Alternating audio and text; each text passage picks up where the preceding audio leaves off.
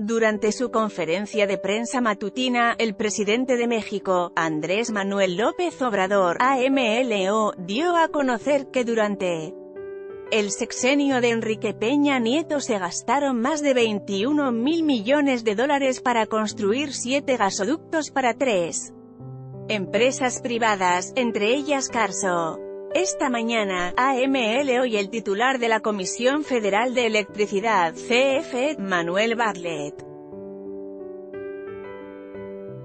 presentaron a los exfuncionarios y empresas que dañaron a la comisión durante el sexenio de Peña Nieto, incluyendo a Grupo Carso, propiedad de Carlos Slim.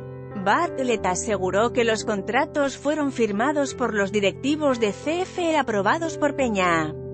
Sin embargo, la comisión no tiene beneficio por los ductos construidos, solo tiene que pagar los permisos a las empresas privadas, aun cuando ninguno de los gasoductos reciba el recurso.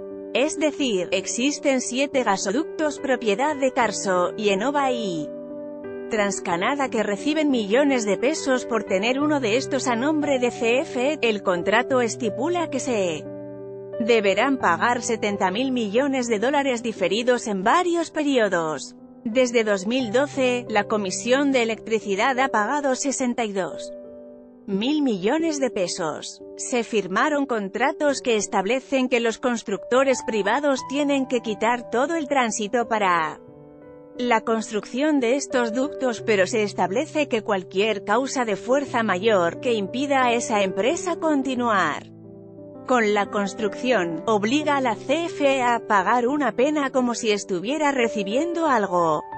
Finalmente, Bartlett aseguró que se analizarán los contratos para encontrar un mecanismo que sea justo para la CFE, o de lo contrario, de mantenerse pagando a las empresas privadas podría significar la bancarrota de la comisión.